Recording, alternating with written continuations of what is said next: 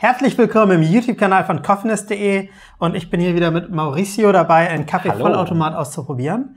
Und wir haben diesmal wieder einen, den wir bisher noch nicht hatten, nämlich wieder eins der Philips Latte Go Modelle. Davon gibt's ja einige, ne? Davon gibt's einige und deswegen lese ich das auch ab. Das ist der Latte Go Series 5400 mhm. EP 5447. Den Link gibt's auf jeden Fall unten in der Beschreibung, da müsst ihr euch keine Sorgen machen. Wir linken noch auf das richtige Gerät. Da will ich gleich erstmal schon mal heiser vom Namen aussprechen. Auf jeden Fall, den hatten wir noch nicht. Ihr seht, der hat ein Display. Wer den YouTube-Kanal von Coffees verfolgt hat, weiß auch, dass die Milchschaumsysteme bei Philips früher sehr laut waren, die jetzt aber was verändert haben und die mittlerweile leiser sind.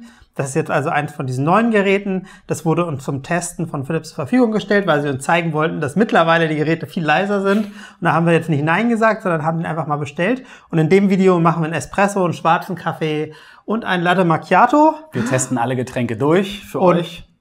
Dann sagen wir, wie uns der Kaffeevollautomat gefällt. Ihr könnt euch das alles angucken. Ihr seht schon, das Profil grün habe ich vorne ausgewählt. Ich weiß nicht, ob das schon grün leuchtet. Und wir wünschen euch erstmal viel Spaß bei dem Video. Viel Spaß.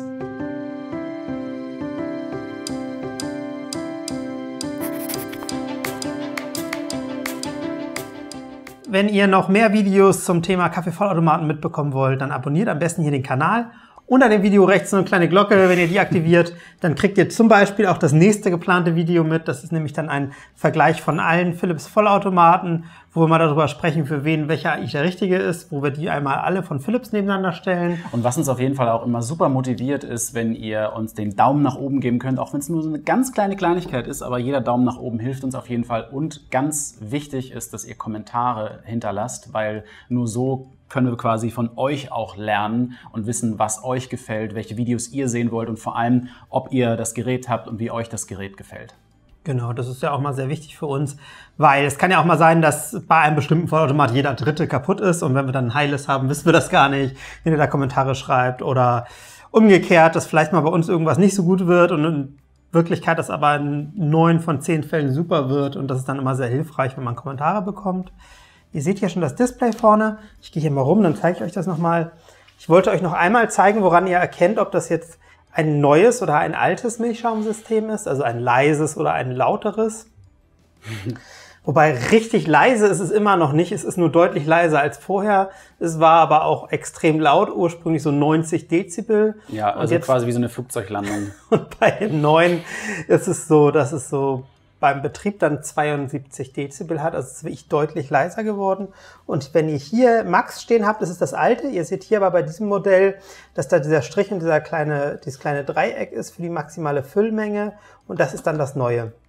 Hier ist jetzt schon grün ausgewählt. Das heißt, das sind die Profile, die vorgespeichert sind. Das ist das Profil grün. Das ist meins. Und ich stelle jetzt mal eine Espresso-Tasse darunter. Und dann wähle ich Espresso aus. Und dann seht ihr jetzt auf dem Display, das wirklich ganz schön da in der Mitte sitzt, dass ihr da jetzt alles Mögliche noch einstellen könnt. Nämlich erstmal die Kaffeepulvermenge, das ist die Bohne. Das zweite ist dann die Menge. Und das dritte ist dann, ob ihr eine Tasse oder zwei Tassen zubereiten wollt. Das heißt, wenn ihr bei dem dritten beides auswählt, dann habt ihr sozusagen diese Doppeltastenfunktion, die es ganz oft gibt. Und ihr könnt euch jetzt schon mal das Malwerk anhören. Ich bereite jetzt mal den Espresso zu.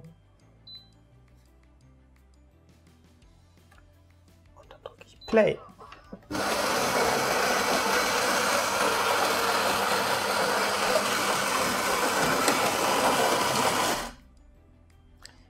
Gemessen habe ich jetzt 74 Dezibel, also es ist so ein normal lautes Malwerk. Ja. Weder besonders leise noch besonders laut.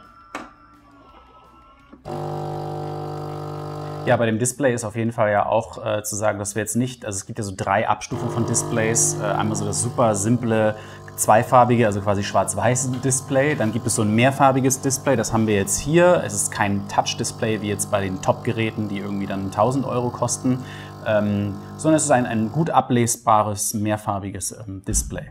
Der kostet irgendwie so zwischen 600 und 700 Euro, habe ich gesehen. Ich habe den Malgrad jetzt auf ganz fein eingestellt. Der hat auch ein Kaffeepulverfach, das benutzen wir jetzt aber nicht, weil die finde ich ja nicht so doll. Hat er aber, falls jemand Wert darauf legt da kriege ich immer, wenn ich sage, das ist eigentlich nicht so sinnvoll, kriege ich immer mindestens einen, wir brauchen aber Decaf, wir haben jemanden Schwangeren oder mit Herzproblemen zu Hause. Klar, wenn man irgendwie da einen Use Case hat und meint, das möchte man gerne benutzen, kann man es machen. Wir empfehlen das immer nicht, weil es super schwer zu reinigen ist und weil die Getränke meistens nicht so gut daraus werden. Wenn ihr tatsächlich zwei unterschiedliche Bohnen braucht, dann solltet ihr auf jeden Fall euch Geräte angucken, die tatsächlich zwei unterschiedliche Bohnenfächer haben, äh, wo man dann umschalten kann zwischen den jeweiligen Sorten. Also da kann man einen Decaf reinmachen oder einen normalen Kaffee. Genau, und im Idealfall halt sogar zwei Mahlwerke haben, Ja. weil man dann halt keinen Kaffeeverlust hat zwischendurch. Da sprechen wir wahrscheinlich dann schon über 1000 Euro wahrscheinlich bei dem, bei dem Gerät. Wenn man sich jetzt so ein Melitta CI oder so anguckt, äh, da sind wir ja deutlich unter 1000 Euro noch. Genau, der kostet dann so 600, 700 Euro. Der hat halt aber auch keine zwei Mahlwerke, sondern der hat nur ein getrenntes Kaffeebohnenfach. Ja. Und da muss man dann, wenn man dann nicht doch ein halb sein, sein Baby halb koffinieren will, muss man dann erstmal einen durchlaufen lassen, weil sonst noch Reste von den anderen Kaffeebohnen drin sind. Und das ist ja ein bisschen umstritten. Der sieht jetzt gut aus. Ja. Wir haben jetzt natürlich frischen, guten Espresso benutzt. Selbstverständlich. Der ist ein relativ dunkel gerösteter Schokoladiger. Kommt echt gut durch. Kannst du auch nochmal probieren. Mhm. Ähm, damit bin ich wirklich zufrieden. Ist lecker. Ja, was sagst du zur Temperatur? Ist gut. Gut, schöne Temperatur. Mhm. Habe ich jetzt noch gar nicht gemessen, muss ich nochmal messen, wird aber über 70 Grad haben. Ja. Wir machen jetzt den Kaffee und da gehe ich jetzt wieder in mein Menü. Und das habe ich jetzt auch schon vorher eingestellt. Mal gucken, ob er sich das gemerkt hat. Sonst gibt es Ärger. Ah ne, ich brauche ja bei Kaffee. Ja, bei diesem Automaten haben wir ja auch unterschiedliche Profile, die man einstellen kann für Personen im Haushalt. Genau, ich glaube zwei. Zwei. Okay, das ist ja immerhin schon mal was. Und hier sage ich jetzt mal bei der Bohnenstärke okay, zwei Drittel. Bei der Milliliteranzahl mache ich 100, das möchte ich auch so haben, das ist gut. Das hatte ich auch so voreingestellt. Und dann mache ich jetzt nämlich aber einen Trick, weil ich mache jetzt am Ende nämlich ein doppeltes Getränk. weil dann habe ich zweimal 100 Milliliter, aber er macht zweimal einen Mahlvorgang und dann bekomme ich einen etwas kräftigeren Kaffee, weil ansonsten ist mir der ein bisschen zu dünn. Das mache ich einfach so als meinen persönlichen Trick, bevor ich dann sozusagen ein Getränk mit 200 Milliliter einstelle, stelle ich lieber zwei Getränke mit 100 Milliliter ein. Dann hat man halt doppelt so viel Kaffeepulver, beziehungsweise zwei Pucks, die gepresst werden zwischendurch. Und dann Geht Play. das los?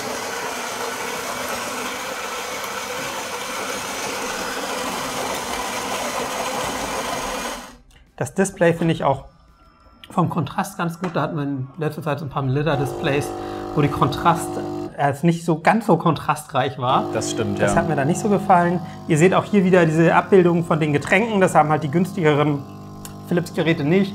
Das ist ja so sehr der Trend. Das machen jetzt, glaube ich, mittlerweile fast alle Hersteller. Ja, also die günstigeren Philips-Geräte haben das ja schon insofern, dass sie das halt auch schwarz-weiß haben, Mhm. so diese, diese Piktogramme.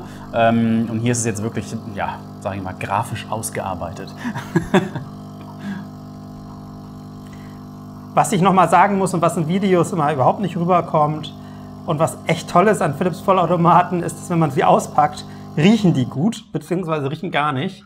Die gibt überhaupt gar keinen Kunststoffgeruch, auch nicht am Wassertank, an nix von der Verpackung. Und das ist halt echt schön. Das machen die das ist bei den meisten anderen Herstellern nicht so. Ja. Ich habe vorhin die beiden ausgepackt und ich rieche dann halt auch immer überall dran. Das sieht wahrscheinlich ein bisschen weird aus von außen, aber ich finde es so cool, dass dann halt nichts nach Kunststoff riecht. Da hat man dann gar nicht so das Bedürfnis, alles fünfmal abzuwaschen. Ich habe das alles natürlich trotzdem einmal vorher abgespült. Aber das ist auf jeden Fall was, was ein großer Pluspunkt ist. Also Geruch ist gut und Wassertank ist ein bisschen flexibler als bei anderen, nicht ganz so spröde. Da kann ich mir gut vorstellen, dass der nicht so leicht kaputt geht. Das ist eigentlich ganz cool. Unser Kaffee ist jetzt fertig. Ich hatte da ja diese doppelte Bezugsfunktion. Ah, heiß, heiß. Ja, das Glas wird immer sehr heiß, es ist sehr dünnwandig. Mhm. Ja. und sieht schon relativ voll aus. Sieht aus wie ein riesen Espresso. Wir haben auch die Creme oben drauf. Mal gucken, was der kann. Das ist einfach ziemlich heiß natürlich. Müssen so unten anfassen, Ja. geht's besser.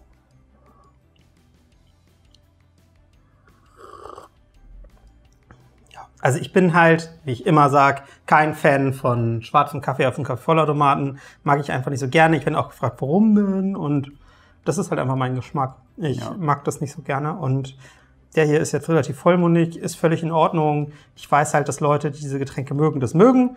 Ich mag es eigentlich bei keinem Vollautomaten gerne und das ist hier jetzt keine Ausnahme. Kannst du nochmal probieren? Ja. Aber ich finde durchaus, dass die Schokoladennote auch jetzt hier bei dem Getränk ganz gut durchkommt. Wir hatten das ja schon beim Espresso gesagt.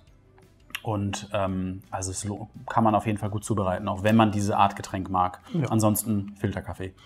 Ja, wir machen jetzt nochmal ein. So, jetzt wird ja auch Latte spannend. Ne? Macchiato. Also jetzt kommt ja eigentlich sozusagen das, worauf wahrscheinlich viele gewartet haben. Genau. Nämlich wie laut ist das neue Milchsystem? Und hier seht ihr auch schon meine Einstellungen jetzt gespeichert. Habe so ungefähr zwei Drittel bei der Kaffeemenge, äh, bei der Kaffeepulvermenge, also bei der Stärke bei dieser Bohne genommen. Dann die zweite Einstellung sind 40 Milliliter Espresso, die da rein sollen. Das finde ich auch in Ordnung. Wäre cool, wenn es hier noch so eine Doppelshot-Funktion geben würde, dass man einfach eingeben könnte, man möchte noch extra Espresso. Das gibt es jetzt nicht. Bei der Milchschaummenge habe ich jetzt die maximale eingestellt, 340 Milliliter. Und Play. Los geht's.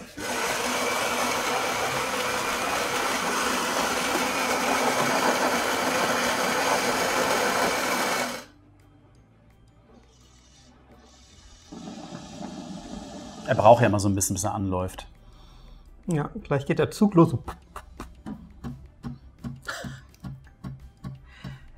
Tja, heute haben wir schon ganz, ganz schön lange Zeit mit Philips Kaffee-Vollautomaten verbracht.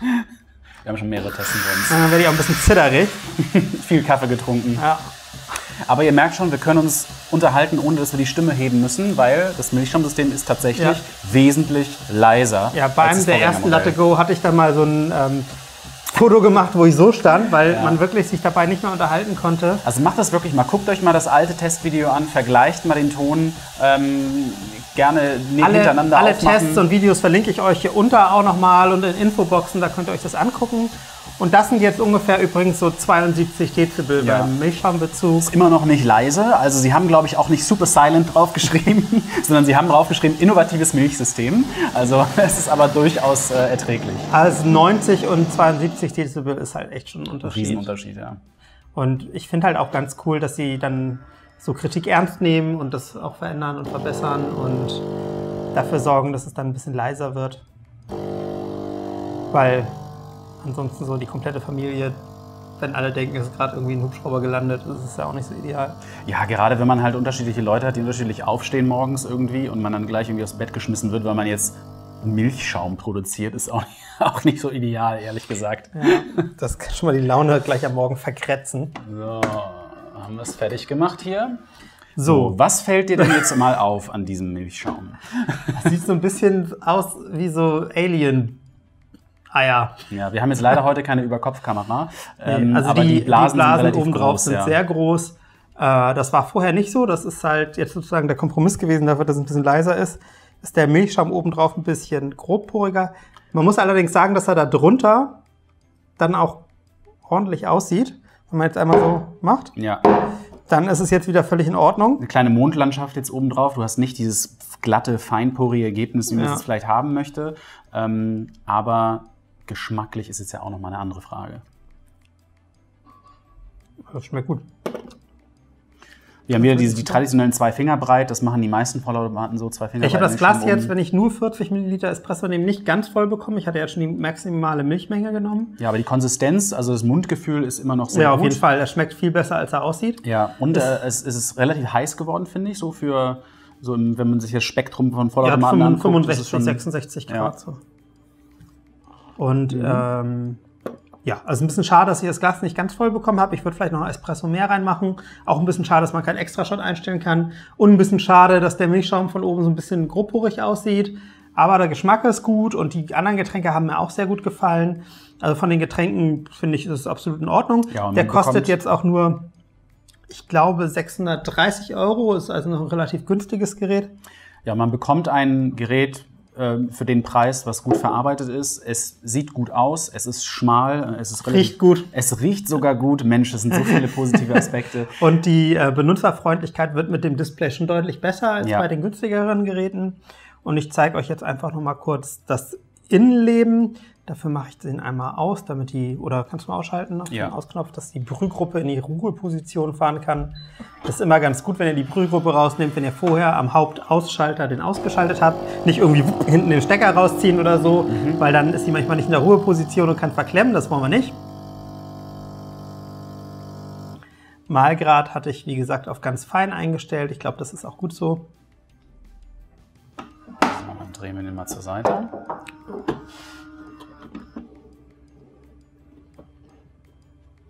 Ja, der fühlt sich auch ganz gut an, ne? so von der Verarbeitung her. So, dann machen wir jetzt mal die Operation am Patienten hier. Hier haben wir den Wassertank und ihr seht schon, was ich meinte, der ist hier ein bisschen flexibel. Das macht einen ganz guten Eindruck, riecht gar nicht nach Kunststoff, das finde ich total super. Dann habt ihr hier die Serviceklappe, hinter der sich die Brühgruppe verbirgt. Ups, da ist sie. Die habe ich jetzt auch bisher noch gar nicht rausgenommen. Ich habe nur damit getestet. Und hier ist so ein Button, den kann man drücken und dann hat man hier die Brühgruppe. Und diese Brühgruppe, die würde ich empfehlen, wie bei allen Brühgruppen, sie nach jeder Benutzung sauber zu machen, beziehungsweise einmal täglich, wenn ihr den den ganzen Tag über benutzt. Wenn ihr den mal drei Tage nicht benutzt, dann müsst ihr die auch nicht sauber machen.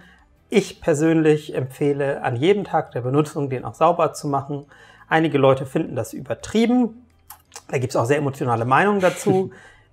Das kann jeder machen, wie er möchte. Mein Argument ist immer, ich sage immer, meine Tasse mache ich ja auch jeden Tag sauber. Warum sollte ich dann die Brühgruppe nicht jeden Tag sauber machen? Weil ihr seht auch hier, wenn ich einmal mit dem Finger durchwische, Kaffeepulver. Und hier so ist, ist Feuchtigkeit. Und Feuchtigkeit und Kaffeepulver ergibt nach einer Zeit Schimmel. Schimmel. Und das wollen wir nicht.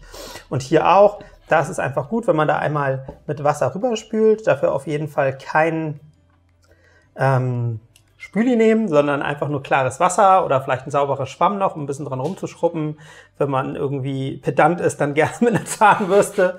Aber eigentlich reicht das einmal ähm, kurz auszuspülen und dann seid ihr sicher vor Schimmel. Und dadurch, dass ihr das täglich macht, ist dann auch eigentlich gar nichts anderes mehr nötig. Dazu muss man ja sagen, wir sind ja auch alle nur Menschen. Ne? Das heißt, also es gibt den Idealzustand, das ist die tägliche Reinigung. Es gibt so den Minimalzustand, das ist vielleicht die wöchentliche Reinigung. Und wenn ihr euch irgendwo dazwischen einpendelt. Täglich äh, ist schon gut. Es ist ja so wie im Fitnessstudio, ne? Also täglich wäre natürlich super. Und wenn man am Wochenende Pause macht, ja, auch gut. Und wenn das sagst du jetzt nur, weil ich lange nicht beim Sport war. das ist ja schön gemein. Wenn man es dann alle drei Tage schafft, so ist es ja auch okay. Also das Ziel, wie beim Sport. Oder untergrabe ich jetzt seine Autorität? Das Ziel ist, wie beim Sport, es jeden Tag zu machen. Äh, die Pucks sind jetzt ein bisschen zersplittert, da kriege ich keinen raus. Das ist jetzt aber auch unspektakulär, hier mit dem Trester-Behälter und der Auffangschale. Die ist voll, da müsst ihr euch auch keine Sorgen machen, wenn da Wasser reinläuft. Ich wollte euch jetzt noch einmal das Milchsystem zeigen. Dafür hole ich das aber mal von dem anderen Vollautomaten, dann muss ich den da, das ja da jetzt nicht abmachen. Und hier seht ihr, wie das dann aussieht. Das besteht einfach aus diesen beiden Teilen. Und das ist echt das Coole. Das könnt ihr hier vorne einfach rausklacken. Dann habt ihr den so. Und dann könnt ihr damit zum Waschbecken laufen. Und das, das ist sehr hygienisch auf jeden Fall. Das dann einmal auseinandernehmen. Und dann müsst ihr nur sehen, dass ihr es wieder richtig einhakt. Dafür macht ihr das so, dass ihr es hier oben einhakt und dann klackt ihr das unten ein und schon seid ihr fertig. Und das ist wirklich von der Reinigung der große Vorteil dieses Kaffeevollautomaten. Und der große Nachteil war ja, dass er sehr, sehr laut war. Der ist jetzt ein bisschen weg. Von daher ist es echt ein empfehlenswertes Gerät. Ja, und Leute, die jetzt Angst haben irgendwie vor großartigem Gefummel mit diesem Milchbehälter, ist es wirklich nicht so. Also ich bin da auch völlig, also ich hasse es, wenn ich irgendwie was rumfummel. Ich bin super ungeduldig. Und mit diesem Milchschaumsystem, ja, das kann ich leicht auseinanderbauen, äh, kurz abspülen, zusammenbauen, reinklacken und fertig ist die Laube. Aber wir fassen nochmal zusammen. Solides Gerät kann ich auf jeden Fall empfehlen. So an der Software hätte ich noch mir ein paar andere kleine, kleine Änderungen gewünscht. Beim Milchschaum wäre schön, wenn da von oben noch ein bisschen besser aussehen würde. Vielleicht wird das dann bei der nächsten Generation besser. Und ansonsten ist das auf jeden Fall ein spannender Test. Wenn ihr noch mehr Tests sehen wollt, abonniert auf jeden Fall den Kanal. Wir werden auch bald nochmal eine Gegenüberstellung von verschiedenen Philips Vollautomaten machen und dann auch noch Vergleiche mit anderen Herstellern. Das ist ja das eigentlich Spannende. Ja, und wenn ihr nochmal unseren großen Kaffee-Vollautomaten-Test lesen wollt, da hinterlässt Arne euch natürlich auch nochmal einen Link in der Beschreibung. Da haben wir wirklich jedes Gerät getestet und es ist ein Artikel, mit dem man sich bestimmt einen gesamten Nachmittag, vielleicht auch einen gesamten Tag beschäftigen kann. Und da könnt ihr auch nochmal richtig euch reingraben und wirklich den besten Automaten für eure jeweilige Situation finden. Ja, an dem Artikel arbeite ich auch schon mittlerweile seit über fünf Jahren und, und aktualisiere den immer. Ja. Und das ist wirklich, äh, mittlerweile haben wir da ganz gut Wissen zusammengetragen. Wir haben schon über 30 Geräte getestet und es wird immer mehr und da freue ich mich natürlich auch immer über Feedback. Und ich bedanke mich bei euch erstmal fürs Zuschauen und wir sehen uns dann im nächsten Video wieder. Bis bald.